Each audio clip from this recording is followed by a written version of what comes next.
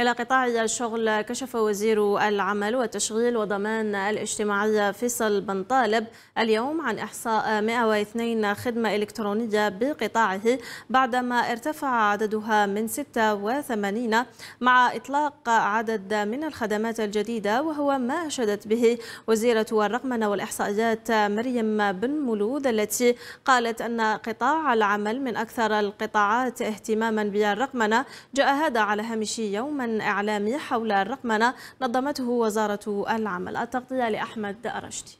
الذي يأتي للتعريف بواقع الرقمنة في قطاعنا.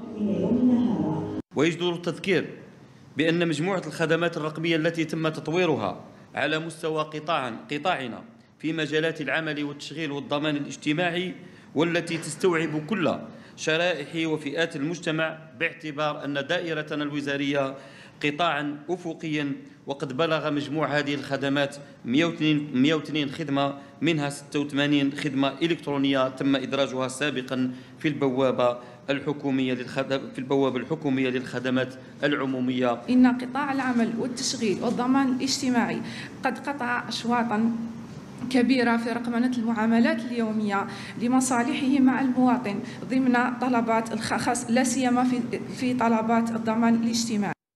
في سياق آخر كشفت وزيرة الرقمنة والإحصائيات مريم بن مولود عن عدد من المشاريع الحكومية في مجال تطوير الرقمنة بمختلف القطاعات وعلى رأسها قانون جديد للرقمنة.